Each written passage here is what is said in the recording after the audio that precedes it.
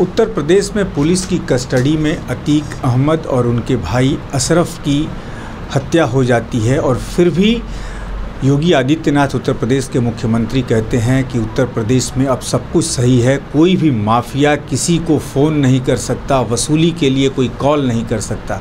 हमारे साथ शक्ति सिंह यादव हैं, जानना चाहेंगे कि उत्तर प्रदेश में जो ये हो रहा है कानून व्यवस्था, जो चरमराई हुई है, इस पर क्या कहेंगे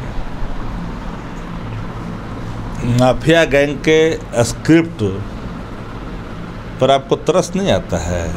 यहाँ से भी आनी चाहिए। आप लोग पत्रकार हैं, उम्रदाज हैं। गुजरात के जेल में बंद था ना? अतीक अहमद कहाँ थे बंद? गुजरात के जेल में? पाल की हत्या कब हुई थी? जब गुजरात जेल में थे? तो इसमें पूरी साजिश को समझिए। किसके पीछे एक लंबी इतिहास बनाई, एक लंबा घेरा बनाया गया। वहाँ भी बीजेपी शासन कर रही है, यहाँ भी बीजेपी शासन कर रही है। अतीक अहमद की हत्या अपराधी ने किया। और मैं ये नहीं कह सकता कि भाजपा संपोषित अपराधी है, क्योंकि इसकी पड़ताल चल रही है तभी हम कैसे कहते हैं? ये भी नहीं कह सकते हैं कि नटोरियस गैंग ने ही हायर किया होगा। लेकिन इतना तो तय है ना कि पुलिस कस्टडी में जब मौत होती है, सवाल तो सामने है। और एक बात जान लीजिए आप लोग पूरे तौर पर, गुजरात से कहानी की पटकथा लिखी गई और उसका अंत हुआ प्रयागराज में आकर के, उत्तर प्रदेश में आकर के। मजाल है कि पुलिस की कस्टडी में तीन व्यक्ति आए और दो भाइयों को मार के चला जाए और चुपचाप खड़ा रह जाए। अगर बुलडोजर चलाना ही जानते हो, बुलडोज करना ही जानते हो तो तीनों अपराधियों को ढेर वही ना कर देते। तब ना लगता तो पहले दाल में काला था, अब तो काला में दाल है। ये सवाल है सामने। उसके पहले दाल में काला था। अब काला में दाल है। ये देश जानना चाहता है ना? अतीक अहमद अगर सांसद और एमएलए रहे हैं, जरा सा आदर से कुछ बोल दिया, अपराधी और अपराध दो चीज़ें हैं। कोई अपराध किया उसकी सज़ा कानून देगा। इस देश का संविधान किसी को सुट करने का आदेश नहीं देता है। हाँ मुठभेड़ होती दोनों तरफों से गोलियाँ चलती, उसमें कोई मारा जाता तो सवाल नहीं खड़े होते। लेकिन आप कैदी को ले जा रहे हो, बिना सूचना के ले जा रहे हो। सिद्दकी डॉक्टर ने कहा कि हमको दस मिनट पहले सूचना मिली थी। तो माफिया गैंग, सत्ता संरक्षित माफिया, उत्तर प्रदेश में कायम है और हेड ऑफ़ द माफिया शासन कर रहा है। तो कैसे समझ में आपको आएगा कि आपके यहाँ माफिया ख़त्म हो गया या बैठ गया या आ गया या चला गया? ये बात तो समझ सकते हैं ना।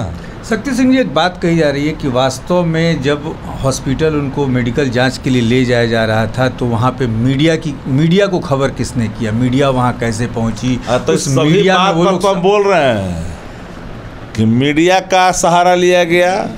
सतपाल मल्लिक की खबरों को दबाने का मीडिया का सहारा ली जाती है। पुलवामा का सच न आए और मीडिया का सहारा ली जाती है। बात को समझिए। गोवा का मुख्यमंत्री पैसा वसूलता है टैक्सी से, एक खबर दबे तो इसके लिए मीडिया का सहारा ले जाता है। अगर वो छूट जाता है गोधरा कांड का भी छूट जाता है, उसको माला पहनाता है, गोड़ छूता है उसमें मीडिया का सहारा, संस्कार का वास्ता दे करके लिया जाता है। तो देश का जो मीडिया बहुयात जो मीडिया समूह है, वो तो बिक चुका है, निर्वस्त्र हो चुका है। जाइए, लगाइए बात करिए। हालात है कि नहीं है देश के अंदर में? अब तो अपराधी का भी दिख रहा है किस तरह से हो रहा है। आदित्यनाथ जी आदरणीय मुख्यमंत्री हैं, जोगी भी हैं भरथरी भी हैं, पार्लियामेंट में भी रहे हैं, बच्चे की तरह बिलबिला के रो भी रहे थे, सब लोगों ने सब स्वरूप को देखा है। इसलिए ये जो सवाल है कि माफिया माफिया खत्म करिए न के रोक रहा है आप?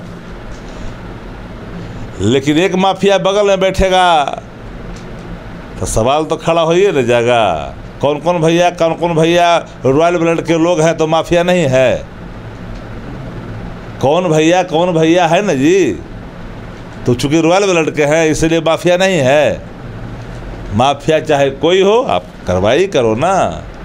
लेकिन हेड ऑफ़ द माफिया अगर बन जाइएगा तो दिक्कत तो होगा। सवाल तो खड़े होंगे। भाजपा कह रही है कि 2025 में यदि बिहार की सत्ता में आती है तो योगी मॉडल ही बिहार में जो है अपनाया जाएगा। योगी मॉडल तो ये बिहार है भैया।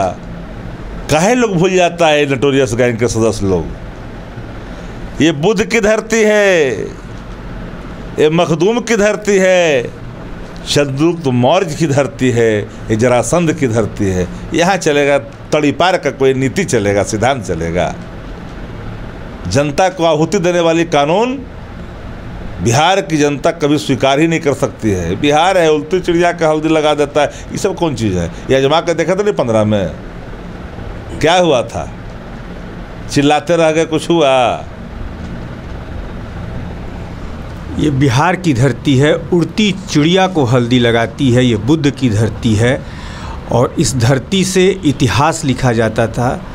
और इस धरती से इतिहास लिखा जाता है।